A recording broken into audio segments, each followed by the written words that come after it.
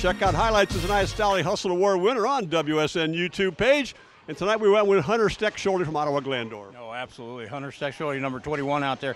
I think the big thing with Hunter, and the reason we went with him was this first half.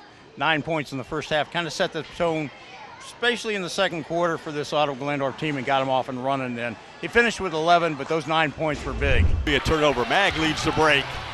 Bounce pass and finishing inside. Hunter Stechschulte has the first Titans points. Schulte, Titans in a hurry.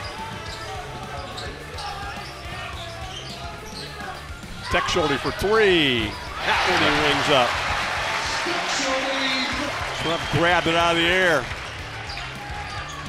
Stechschulte goes to the rim and scores. Boy, he's having a first half. Telecast that will air on Sunday evening. Scoop shot by Stechschulte, gets his own, goes back up, and bounces it in. Hunter Stechschulte becomes a double-figure scorer with 11.